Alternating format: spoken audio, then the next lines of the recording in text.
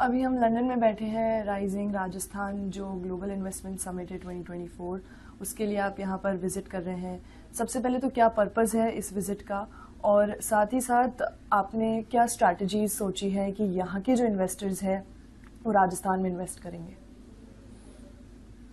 देखिए कि 9 दस ग्यारह दिसंबर का राजस्थान में राइजिंग राजस्थान का कार्यक्रम है। जी। इससे पहले मैं कोरिया जापान भी होकर के मैं आया था। अभी जर्मनी और यूके में आया हूँ। दोनों कंट्री बहुत ही मज़बूत हैं। आर्थिक दृष्टि से भी संपन्न है। और पहले से जर्मनी के कुछ उद्योग हमारे यहाँ चल रहे हैं। और यूके से भी काफ़ी संबंध हमारा पुराना है। निश्चित रूप से हम चाहते हैं कि राजिंग राजस्थान के अंदर हमारा जर्मनी और यूके से इन्वेस्टर ज़्यादा से ज़्यादा आए। क्योंकि राजस्थान में अपार संभावना है। राजस्थान में माइनिंग की दृष्टि से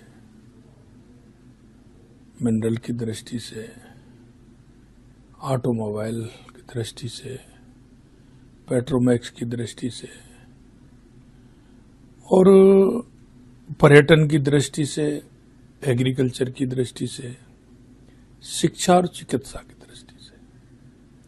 हम चाहते हैं कि जर्मनी और यूके से ज़्यादा से ज़्यादा निवेश हमारे राजस्थान में आए। और हमें लग रहा है, जर्मनी की यात्रा की है, हमें अच्छी संभावना है। कि वहाँ से अच्छे निवेशक आएँगे। जी। और अभी यूके आज मैंने दिन भर में तीन चार मेरी भी मुलाकात हुई है मीटिंग हुई है।